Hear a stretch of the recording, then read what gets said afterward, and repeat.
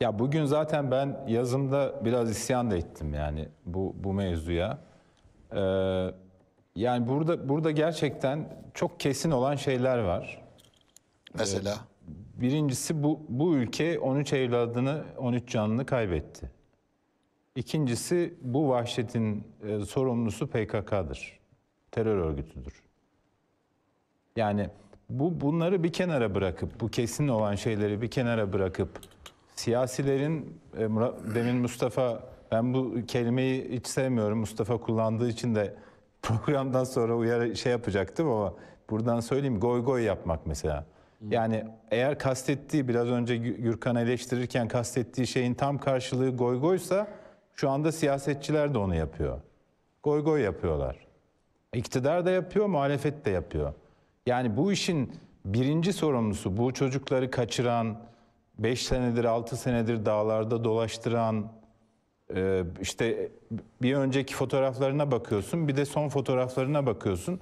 Hepsinde 20-25 kilo fark var. Yani o çocuklar zulme, zulmedilmiş 5-6 yıl boyunca. Yani bu bunun bir tane sorumlusu var, terör örgütüdür. Ha hükümet kurtarabilir miydi? Bu- Bunun uluslararası yöntemleri var. Ben bu arada size şunu da söyleyeyim. 1997 yılında e, ZAP kampına gidip e, 8 askeri, kaçırılan 8 askeri alıp e, Türkiye'ye dönen ekipteydim.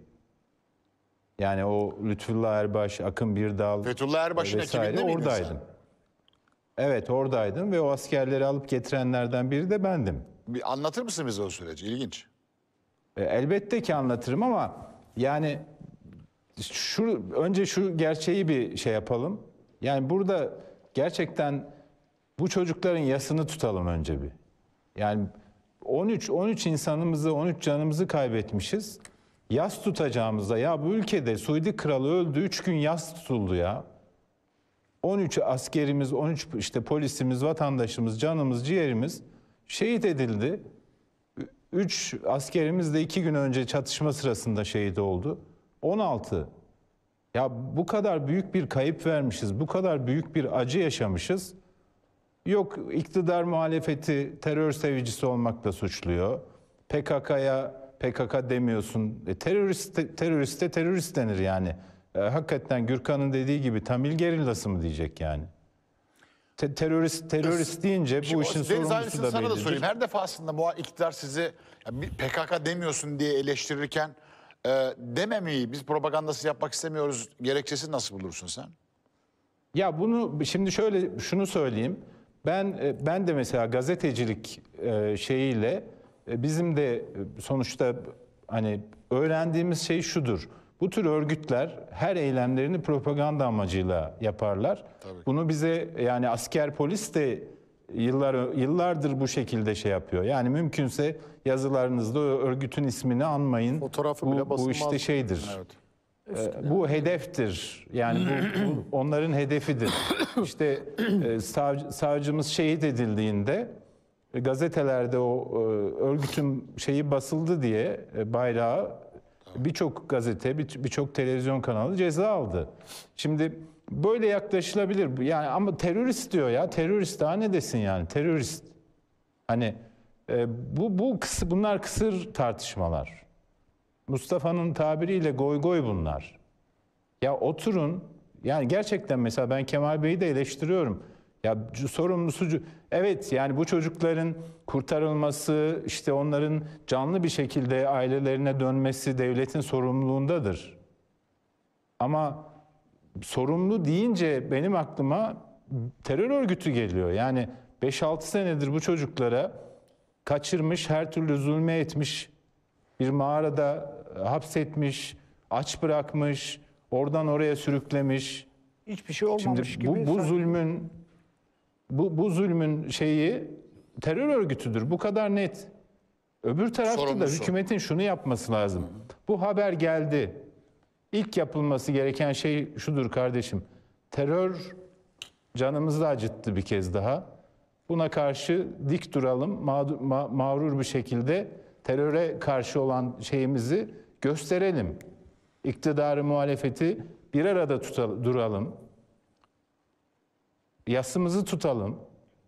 Yani gerçekten üzülüyorum ya. 16 insan 16 gencecik insan baktınız mı künyelerine 90 sonrası doğmuşlar hepsi. Evet, evet. Yani bu çocukların yasını Bunu, tutmak bunu yerine konuşmanın belki kay- anlamı da olmayabilir dediklerin üzerinden ama e, ilk yumruğu kim salladı bu polemikte sence? ya bu Biri bu başlar şöyle- biri tepki verir kabul O- ama nereden başladı bu iş? Mesela Hadi şöyle, Öztürk diyor ki şimdi bakanlar ilk- gelmişse bu kadar bir şey anlatmış. Bir saat sonra meclis kürsüsüne çıkıyorsunuz. Ama ama bu dediğiniz dün dündü. İlk Dün. olayın e, ortaya çıktığı gün e, sosyal medyanın e, şey listelerine bakın. Muhalefetin tamamı terörist ilan edilmişti. Yani açın okuyun Fahrettin Altun'un açıklamalarını. Ya burada şu yapılmalı. HDP PKK ile iltisakını, ilişkisini kesmiyor mu? Direkt HDP denilmeli. Muhalefet dediğiniz zaman İyi Parti'yi de gönderiyorsunuz, CHP'ye de gönderiyorsunuz. Biraz net olmak lazım bu tartışmalarda. Yani e, diyorum ya bu bunu bu kavga yerine biz biz bu çocukların yasını tutmalıydık. Bu- Bunu bile yapamadık. Bu kadar yani ben bugünkü yazımı onun için bu çok mu zor başlığını atmıştım. Çok mu zor ya? Bir kere de bir araya gelelim. Ya Atatürk bu millet tanımını yaparken birçok filozofu şunu bunu araştırmış. İşte Afet İnan'la oturmuşlar.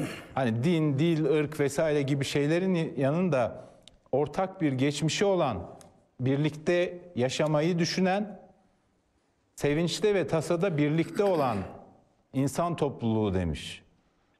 Ya biz bu tasada, bu yasta birlikte olamayacaksak nerede olacağız? Teröre karşı birlikte duramayacaksak nerede duracağız? Onun için ben yani arkadaşlar kusura bakmasın iki tarafı da e, hatalı buluyorum. E, burada Meral Hanım'ın e, dışarıda bırakıyorum. Bugün yaptığı tespitler çok doğruydu. Yani ne bağlamda dışarı? Niye dışarı? soru- Niye, neden dışarıda tutuyorsun Sayın Akşener'i?